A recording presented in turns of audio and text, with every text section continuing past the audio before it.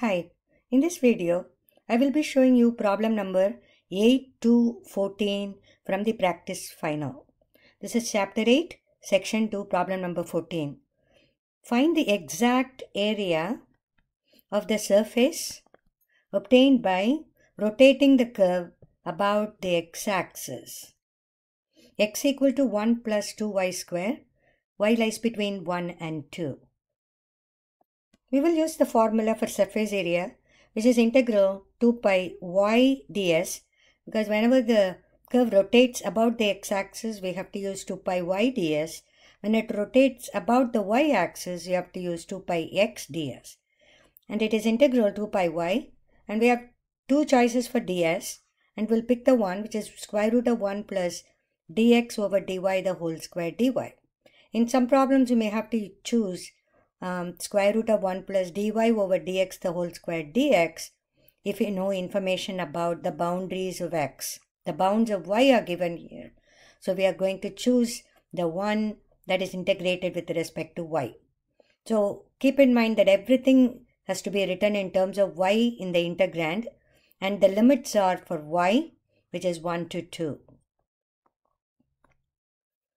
So now it is surface area equal to, I'm going to take the 2 pi out, which is 2 pi integral 1 to 2 y square root of 1 plus dx by dy x is given to be 1 plus 2y square.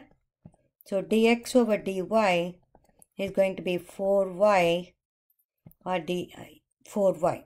So we are going to apply that just 4y the whole square dy. So it is integral, it's 2 pi integral 1 to 2 y square root of 16 y square dy which can be done by substitution technique. So we are going to use u equal to 1 plus 16 y square or du equal to 32 y dy.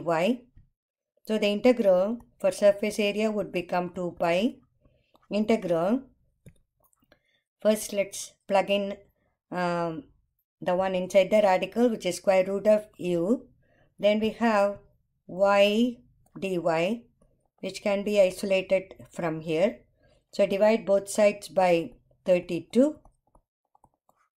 So y dy in the integral can be written as du over 32. So either you can change the limits right now and plug in the limits for u or you can do the whole problem and integrate and then change it back to the original variable y and then give the limits for y. Either way it's going to work. So I'm going to use the technique of changing the limits right away. The y limits are given and we are going to change it to the variable u. u, are, u for substitution is 1 plus 16 y square. The lower limit for y is 1.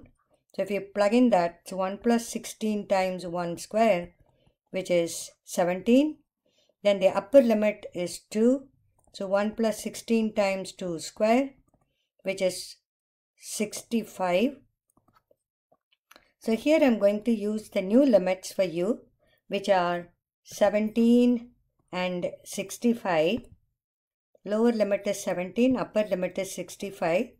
And we have 2 pi outside, that is integral of u. And then 32 can also be taken outside then it's square root of u or it's u to the 1 half du.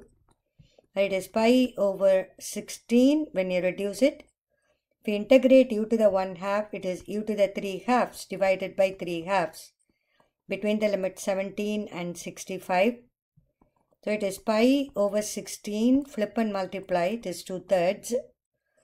Then 65 to the power 3 by 2 minus 17 to the power 3 by 2 or it is pi over 24 65 to the power 3 by 2 can be written as 65 square root of 65 minus 17 square root of 17. So that becomes a surface area. Hope this video helps.